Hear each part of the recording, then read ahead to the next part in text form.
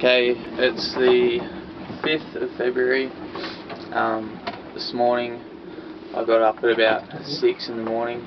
I was like getting up every hour, sort of checking where we're going and we're going okay. And once yesterday the self-steering kicked out, like the thing released, and I had to lean over the back, pull it forward and lock it back in, like it's a safety thing. When it hits something, it, it flicks back out.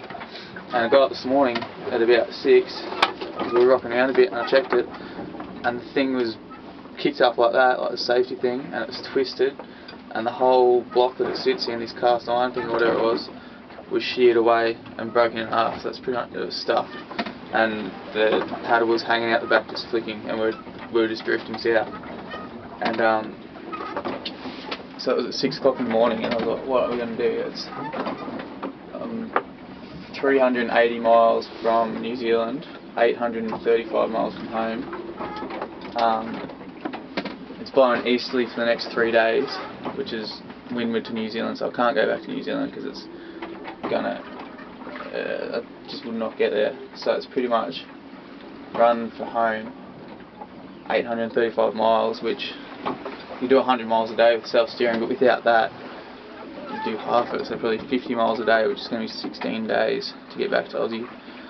And all day, like the wind's been increasing, it's got up to like 35 and it was gusting 40 knots and I was been steering for probably 8 hours, done maybe 50 miles and a couple of times like the cockpit filled with water and I'd have to sit there with a bucket and get it out.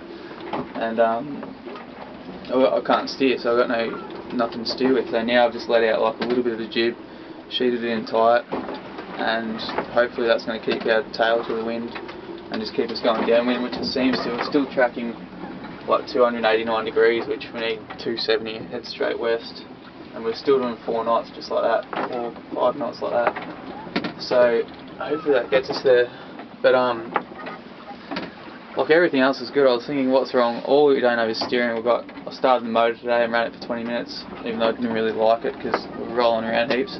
But motor's going good, full of water, still got power. GPS is going sat phone's going. I called Russell Radio a couple of times and the guy was like, oh, what are you to do by yourself, huh? Like, yeah. Um, and yeah, I got food, water, everything else. The wind's still in good direction, luckily it's not coming the other way, so hopefully it stays this way and we can run with it for a bit. But, see, I'll whack that bar in there just in case those windows get blown in because I don't want any water coming in here.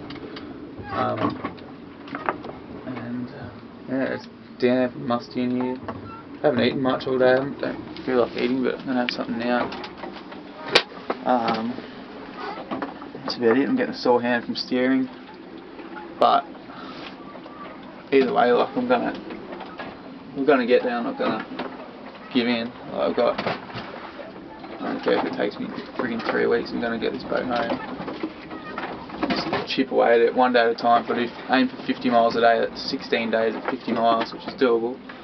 Um, especially with a good wind like that. Just get up, knuckle down for the day and steer it. And yeah, take it one day at a time. Like this, if we're drifting like this, we're still doing 3 knots, so in the right direction. So overnight, might do an extra 30 miles, which will cut it down a bit. So, tomorrow's my birthday. Anyway, see how we go. I'm trying to find my other dry bag so I can whack the camera in it so it doesn't get wet. And um, going to whack a bit of stuff in a backpack or something as in like an emergency grab bag, just like flares and water and food and that sort of gear. But I'm not going to need it because this boat's going to get us there, so I'm going to look after it and yeah, just keep chipping away at it.